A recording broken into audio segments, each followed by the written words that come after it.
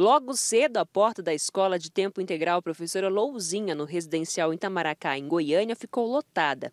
Pais e responsáveis acompanhavam os alunos no primeiro dia do ano letivo, que, por sinal, é um ano de muitas novidades. Nova fase, né? Colégio novo.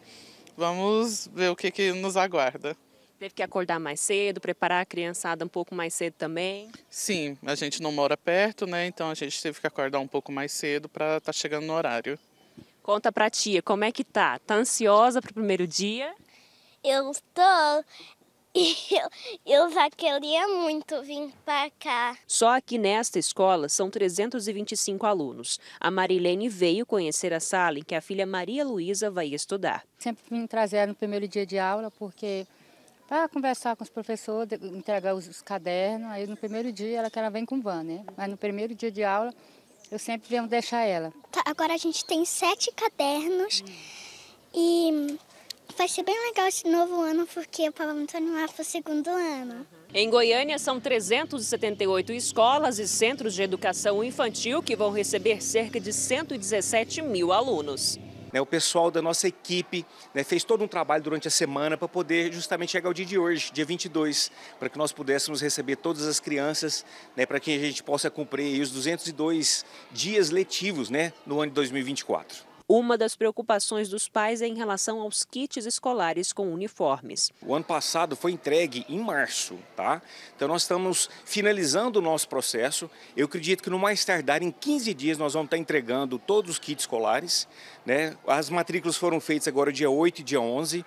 Então nós estamos aguardando a finalização dessas matrículas, confirmações das matrículas, para a gente ver até a questão de tamanho, para a gente poder comprar os uniformes de acordo com o tamanho das nossas crianças. Sobre a questão do déficit de 8 mil vagas, vagas no município de Goiânia. Como é que fica essa situação esse ano de 2024? Bom, na verdade, o número que nós temos hoje é aproximadamente em torno de 4 mil crianças. Né? Nós é, ofertamos aí é, 17 mil novas vagas, 17 mil vagas para educação infantil. Tá? Nós temos uma programação para o ano de 2024 é, de 12 novas obras que nós vamos estar entregando, inclusive duas já estão praticamente prontas, né, que é o Santa Helena e o Barra Vento. Né? E durante o ano nós vamos estar entregando essas outras 10 obras.